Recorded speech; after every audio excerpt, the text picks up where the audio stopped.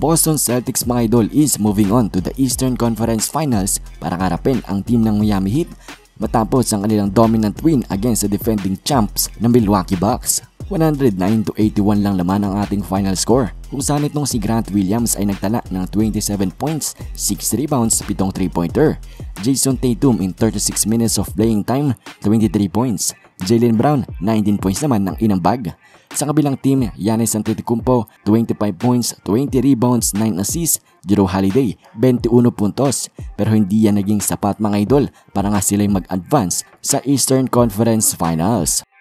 Game 7 naman mga idol na itong Mavericks at ng Phoenix Suns, winner go home.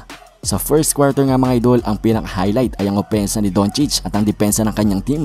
Luka, 12 points agad sa unang labing dalawang minuto Kanyang teammate na si Dinwiddie mga idol, pagpasok na pagpasok ay 8 points agad ang ginawa. Samantalang ang Phoenix Suns ay parang Phoenix Ice dahil sa sobrang lamig ng kanilang opensa. Miski mga layup mga idol ay namimintis nga nila. Pero big credit din yan sa depensa ng Dallas. Biggest lead nga sa first ay 13 points para sa Mavs pero naibaba naman ito ng Phoenix sa 10 sa ending ng first quarter.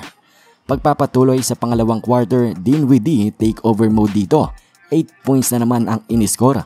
Booker, CP3 at Ayton, 0 out of 11 sa field. Dami ring turnovers ng Phoenix at itong Mavs mga idol, 17 points na ang lamang with 6 minutes left nga mga idol sa second quarter.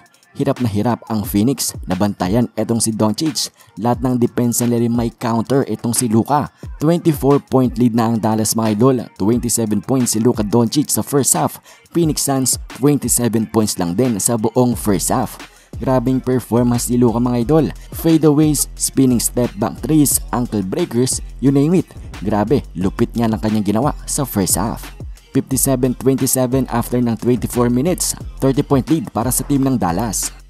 Third quarter nga mga idol, 38 point lead ng Dallas Mavericks, Luka Doncic, 2 straight 3-pointers sa third. Grabe mga idol, kawawa ang Phoenix Suns. Mas malaki pa ang lamang ng Dallas kaysa sa kanilang in-score sa buong laban. 41 point lead para sa Mavs, 34 points lang ang score ng Phoenix. Same story mga idola, Luka Doncic, Jalen Bronson, Spencer Dinwiddie take over. 92 to 50 ang score mga idol after 3 quarters ng paglalaro. Fourth quarter basically is garbage time na lang. Grabe mga idol, nakakatakot ang Game 7 Luka Doncic. Di ba't binalaan na nga tayo ni Patrick Beverly nung nakaraan na nakakaiba nga daw talaga ang Game 7 Luka. At ito, totoo nga, ang Mavs ay nag-advance na nga para karapin ang Golden State Warriors matapos ang kanilang panalo 123 to 90. Luka Doncic mga idol in 30 minutes, 35 points, 10 rebounds, 4 assists, 2 steal. Spencer Dinwiddie 30 puntos in 25 minutes. Jalen Bronson 24 points in 29 minutes. Ito namang si Devin Booker mga idol 11 points, 21% field goal percentage. CP3 10 points lamang sa laban na ito. At si Aiton mga idol na very dominant tung nakaraang series. 5 points lamang ang in-score sa Game 7 against the Mavericks. Pero anyways mga idol, Warriors versus Dallas. Very exciting matchup para sa Western Conference Finals.